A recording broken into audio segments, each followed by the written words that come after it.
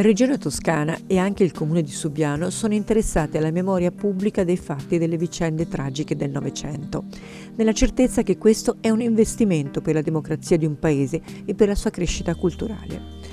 Nel giorno del ricordo, istituito con la legge del 30 marzo del 2004 dal Parlamento italiano per conservare e rinnovare la memoria della tragedia degli italiani e di tutte le vittime delle foibe, dell'esodo dalle loro terre degli istriani, fiumani e dalmati nel secondo dopoguerra e della più complessa vicenda del confine orientale, si parlerà in una diretta con la regione toscana della storia del confine dell'Alto Adriatico, che è una storia complessa nelle città istriane oggi croate, nel Novecento si è rovesciato il rapporto fra le etnie, gli italiani sono minoranze.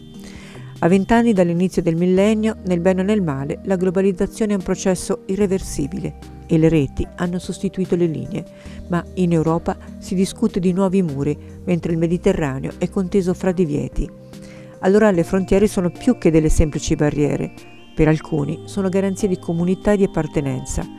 La storia del confine dell'Alto Adriatico rappresenta quindi un caso di studio affrontato nella prospettiva del presente, che può essere di grande utilità per l'educazione civica delle nuove generazioni.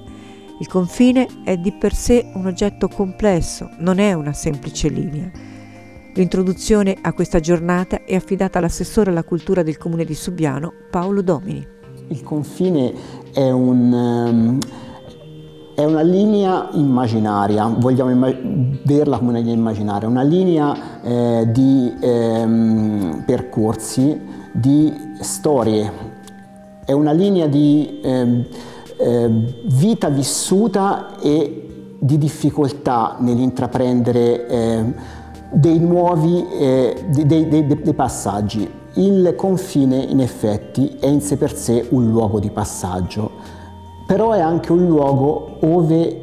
le comunità possono coesistere. L'esperienza di Trieste da questo punto di vista è un'esperienza evocativa. Trieste è stata storicamente la culla della Mitteleuropa, un, un luogo di incrocio di culture diverse, un luogo in cui queste culture hanno sopravvissuto e hanno vissuto in pace per, lunghi, per, per un lungo periodo. È un luogo in cui sia pur nella difficoltà dell'incrocio di, eh, di tante comunità, molti intellettuali hanno comunque contribuito a dar lustro a questa città, a tutta l'area. Però è ovviamente la storia ci ha lasciato dei, ehm, delle conseguenze purtroppo molto più brutte, legate alla difficile coesistenza che a un certo punto è venuta fuori per per gli abitanti di quelle aree, per i fatti storici che sono succeduti soprattutto nel primo Novecento, nella prima metà del Novecento. Il progetto che viene analizzato oggi, su cui appunto la Regione Toscana ci porta e ci illustra, eh, è un progetto di ricerca di cosa, quel, cosa quella linea di confine ha rappresentato e viene elaborato in un progetto appunto biennale che viene destinato alle scuole affinché alle, le scuole possano fare un'esperienza propria curricolare di quello che è stato, ha rappresentato vivere in un luogo di confine, con tutte le conseguenze storiche, sociali, politiche che ne sono scaturite. L'esperienza del, eh, del luogo di confine del resto è portata avanti anche dall'università e nel, ehm, nella conferenza appunto verrà fuori anche questo aspetto, dove l'università cerca di attualizzare le tematiche delle, mh, e le problematiche dei confini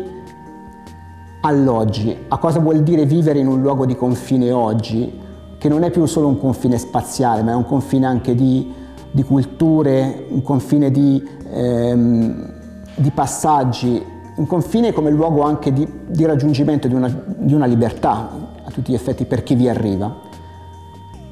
L'esperienza che ci viene portata, del resto, è un'esperienza che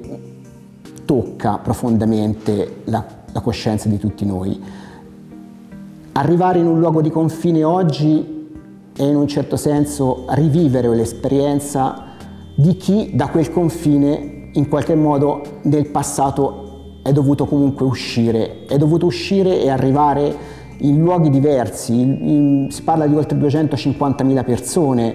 che hanno lasciato le proprie abitazioni, tutti i propri averi, tutte le proprie eh, certezze per andare effettivamente incontro a una vita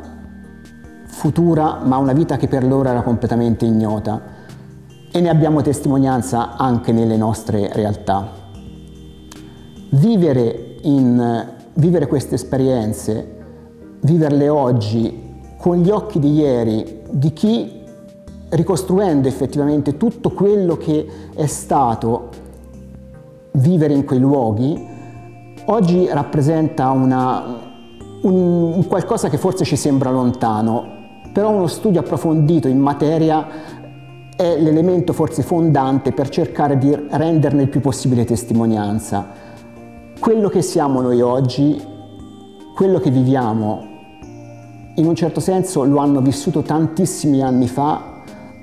persone che si, trovano, si sono trovate a vivere in una situazione veramente spiacevole. È naturale che arrivare in un luogo di frontiera è sempre arrivare in un luogo che è destinato a creare delle, delle tensioni. Vorrei evocare una testimonianza che ci porta uno dei più grossi poeti, mi piace chiamarlo così, che in musica ha descritto la tematica del confine, che è Ivano Fossati.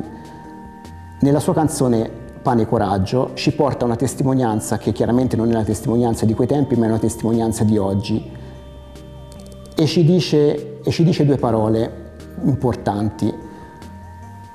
ma soprattutto ci vuole coraggio a trascinare le nostre suole da una terra che ci odia a una terra che non ci vuole. Quindi